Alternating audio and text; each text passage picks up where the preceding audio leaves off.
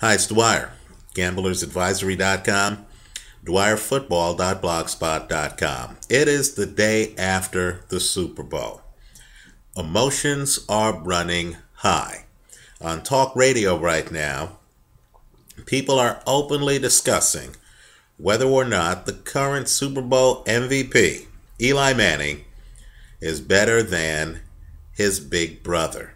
The very question would have been never asked just a few years ago. It was assumed that Peyton Manning was the gold standard. In fact, earlier this year, Eli Manning got ridiculed when he even suggested that he was an elite quarterback who needed to be thought of in the same breath with Tom Brady. So let's throw our hat into the ring. Is Eli Manning better than Peyton Manning? I would argue that he is. Let's talk about it. You know, perception changes over time. In my opinion, and it's all opinion, in my opinion, the biggest game either Manning brother has played in professionally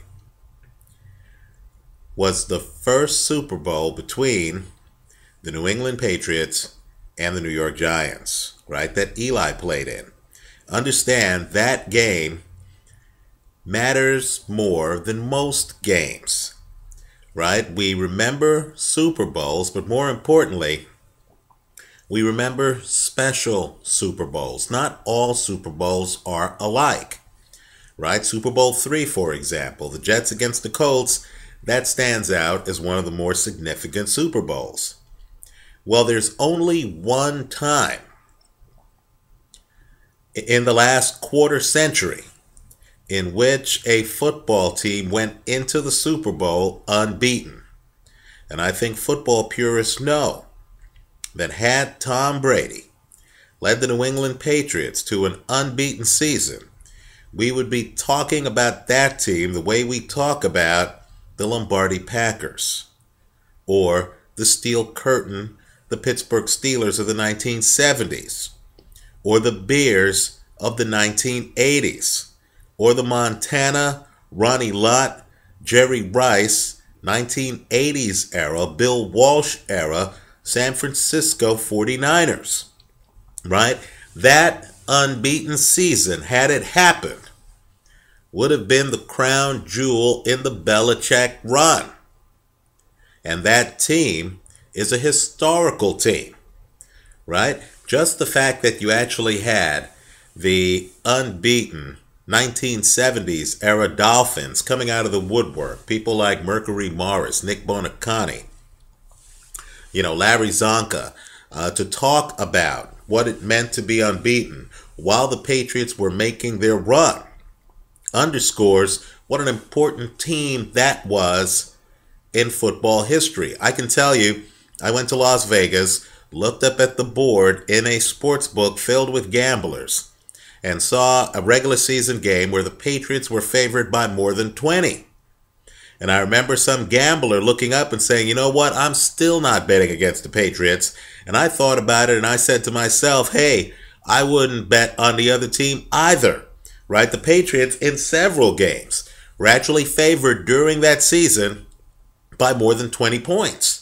And let me point out that not only did Tom Brady have a record year in terms of throwing touchdowns, but Randy Moss, his wide receiver, had a record year in terms of scoring touchdowns from the wide receiver position. He scored more touchdowns that season than Jerry Rice ever did in a single season.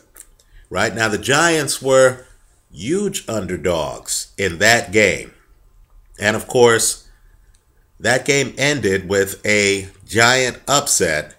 And of course, the MVP of that game was Peyton Manning and one of the most important plays in Super Bowl history. It ranks up there, quite frankly, with Santonio Holmes in the corner of the end zone. Was the David Tyree off the helmet catch. And of course, the quarterback in that play was Eli Manning. Peyton Manning has never played in a game of that magnitude. He has no signature moment like that Eli Manning to David Tyree moment. And all I can say is when we look back, football is a different crowd than baseball. When we look back on football players, you remember those moments, right? The Immaculate Reception, the Santonio Holmes moment that I just referenced, right? The Darrell Green, you know, return. Um, all I'm saying is when you think back to key players, how they are remembered will often be reflected in their biggest moments, right? Lynn Swann, um, you know, the uh, catch on the sidelines in the Super Bowl, the catch where he juggled it in the middle of the field, right? Those are the big moments. Eli's biggest moment is bigger than Peyton's biggest moment. And I believe it's going to make the Eli narrative more compelling going forward. Another big reason why Eli is better than Peyton, quite frankly, and will be remembered as such, is their relationship to Tom Brady. Right now, Brady, in my opinion, is the best quarterback of the post Joe Montana era. Right? I saw Montana. I was lucky enough to be uh, in college in Northern California when Montana and Bill Walsh ruled the roost. Uh, forget the numbers. I don't care what the numbers are. And keep in mind, when you do look at the numbers, they're staggering. Four Super Bowls, no picks for Joe Montana. But just understand that Montana, as a quarterback, had a presence that's very hard to describe today, right? While you've had many successful quarterbacks between Montana and now, quarterbacks like Troy Aikman, for example, right? Three Super Bowl rings. None just carries the aura of invincibility, especially in the fourth quarter, that Joe Montana did. And I believe the best quarterback of the post Montana era is Tom Brady, right? I believe Tom Brady today is a first ballot Hall of Famer. Only two quarterbacks have been in five Super Bowls. One's John Elway, the other is Tom Brady. Now, my point to you is simply this On January 18th, 2004, in the AFC NFC, uh, excuse me, in the AFC Championship game following the 2003 season, Tom Brady demolished Peyton Manning and the Indianapolis Colts. Right? Peyton Manning threw three interceptions to Ty Law.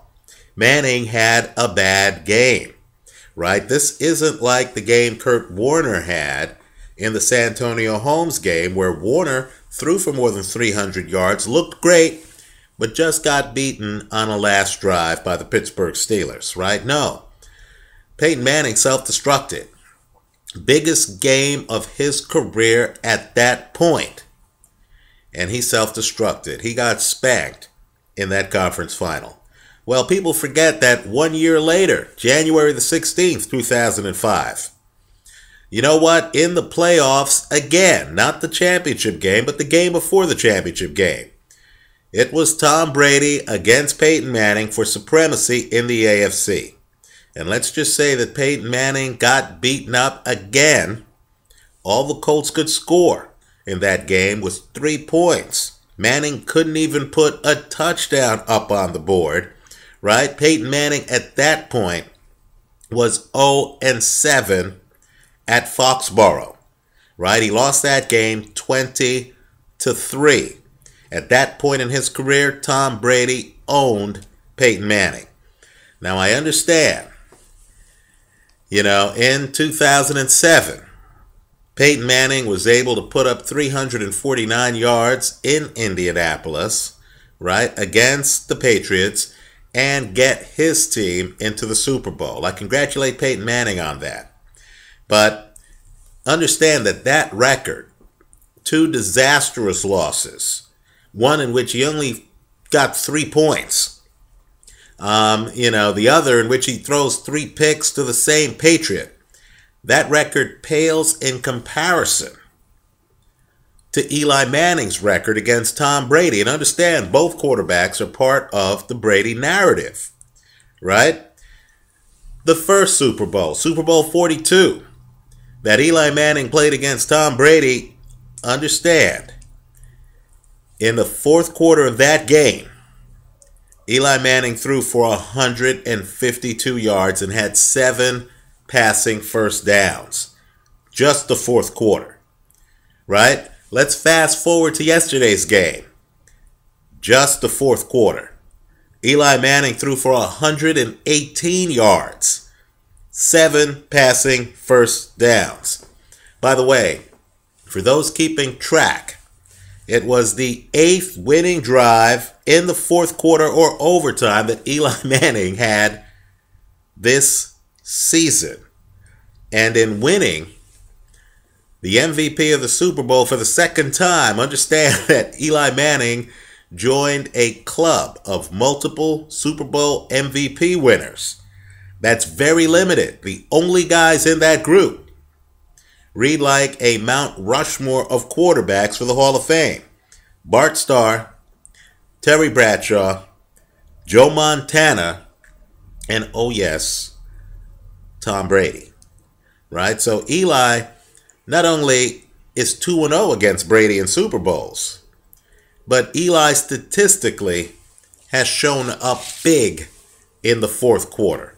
Right? Eli's reputation, quite frankly, is as a closer, right? He, you know, seems to play best in the biggest games. Let's go further. And keep in mind, I understand Eli has self immolated in some playoff games in the past. But no one remembers those games. Right? What they remember is a 2 0 Super Bowl record with more than 100 passing yards in the fourth quarter of both games. And let me point out, in both games, the Giants were underdogs. Compare and contrast that with Peyton Manning. He played Rex Grossman and the Bears. No one's going to put Rex Grossman in the Hall of Fame anytime soon, right? Of course, Indianapolis was favored. They won the game. Later, Indianapolis played the New Orleans Saints. Indianapolis was favored. Not only did they lose the game, one of the key plays of that game was a Peyton Manning interception, right? And so all I'm saying is this you know, Eli Manning is winning Super Bowls as an underdog. His brother lost a Super Bowl as a favorite. Not only that, when you look at Eli Manning, Understand that it's a changing cast of characters around him, right? He didn't have Victor Cruz for that first Super Bowl, right? He had Amani Toomer. He didn't have Ballard for that first Super Bowl. He had a different tight end, right? Not only that, the personnel around Eli Manning isn't stellar. This isn't the 70s Pittsburgh Steelers where you look left, they're Hall of Famers, you look right, they're Hall of Famers, and in the middle is Mike Webster, he's a Hall of Famer, right? No, this is a different situation where the Giants this year became the first team to win a Super Bowl after having given up more points in the regular season than they scored.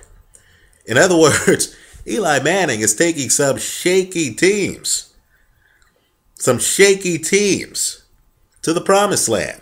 Teams that aren't favored in Super Bowls. Now, Eli Manning hasn't had a Hall of Fame wide receiver like Marvin Harrison. His brother has, right? Eli Manning, quite frankly, hasn't had a highly touted college wide receiver like Reggie Wayne. His brother has. And so you know, what people need to realize, quite frankly, is that Eli Manning is doing an awful lot with what he has. He's uh, winning big games like yesterday's game, quite frankly, without a lot of great talent around him, right? Let me also point out, too, playoff record. You know, Eli Manning really on the back of two Super Bowl runs, two stellar Super Bowl runs, in which he won games like Brett Favre's last game as a Green Bay Packer. Right? Think about that. That was in the NFC Championship game before the Giants faced the Patriots for the first time in Eli Manning's career, right? In the Super Bowl, right? Eli Manning literally has won some games that might be played on classic TV 20 years from now, right? The 49er game. You know, this year, the um, NFC Championship game. And again, Eli Manning's beating teams on the road, right? Green Bay and Green Bay, the 49ers in San Francisco. So he has a big time winning percentage in postseason games, right? I believe he's something like 9 and 3 or something like that. It's huge. Well, understand for him to lose that above 500, well above 500 record, it'll be very hard for him to do so. Because the Giants would have to make the playoffs for several years and lose their first game in the playoffs right? Because if they make the playoffs and win that first game, then worst case scenario is Eli Manning would be one and one for that year in his postseason record. Not only that, for Eli Manning, let's say he's nine and three in the postseason, just for argument's sake. For him to get to nine and nine, that would mean that he would have to lead the Giants to the playoffs for six more seasons. In other words, he would be your prototypical playoff quarterback. So my point to you is simply it's going to be awfully hard for Eli Manning to finish his career with a bad playoff record. Right? He has an exemplary playoff record right now, and quite frankly, it's very unlikely that that record would ever get to 500. Now, contrast that with his brother. Did you know that Peyton Manning is 9 and 10 in the postseason. Did you know that Peyton Manning's teams in the postseason have been won and done seven times? Think about that. Seven times. Did you know that in the 10 playoff losses that Peyton Manning suffered in the playoffs, did you know that the Colts have averaged barely more than 14 points a game? And of course, yesterday, late in the Super Bowl, uh, ABC or NBC, whoever televised the Super Bowl, I believe it's NBC, flashed a stat that showed that both Brady and Eli Manning at that moment had quarterback ratings over 100. Would it surprise you to learn that Peyton Manning's postseason quarterback rating is 88.4. And so what you have is Big Brother not doing as well as Little Brother in the postseason, right? You have Little Brother playing in the biggest games and taking down the franchise quarterback of the era in two different Super Bowls. The same man who has taken down his brother when they've met in the AFC NFC Championship game and in the playoff game the very next year, right? I believe Peyton Manning is going to have a very hard time in history given that he has great numbers, but only one Super Bowl win and that Super Bowl is a forgettable one, right? I think Eli Manning, on the other hand, um, he's on a team that looks loaded um, for the future. You know, they uh, have a coach who has Super Bowl experience, and uh, the team seems to, um, you know, as long as everyone is healthy, seems to be able to produce in the postseason. I think the Eli Manning story is still being written. But as it is, the chapters that have been written so far are better, in my opinion, than what has been written so far for his big brother, career wise. Finally, let me just say this when you think about football, you think about the uh, cold tundra, right? You think about, you know, outside conditions. The fact that Peyton Manning uh, played indoors really does hurt, in my opinion, um, his comparison to someone like his brother, who plays, quite frankly, not only outdoors, but against more memorable opponents Dallas Cowboys, Washington Redskins, Philadelphia Eagles, right? You see, you know, those guys, you see cold air, you uh, know that they're hitting because it's the NFC East. I would argue that even Eli's division gives him a better platform from which to show his brilliance to the fans.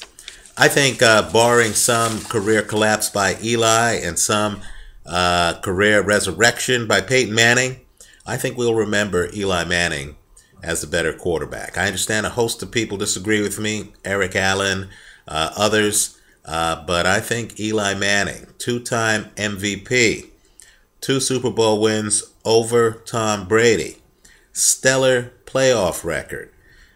Big game. He's the guy who took down arguably New England's best team. Right? He's the guy who yesterday was down 17 9 and came back to win the game 21 14. That's what people will remember. Right? Do you have any such moments in games of that magnitude by Peyton Manning? I'd say no. Let me hear what you say. Leave your comments for me here on YouTube. Visit us at dwyerfootball.blogspot.com and, of course, at gamblersadvisory.com. Thanks for watching.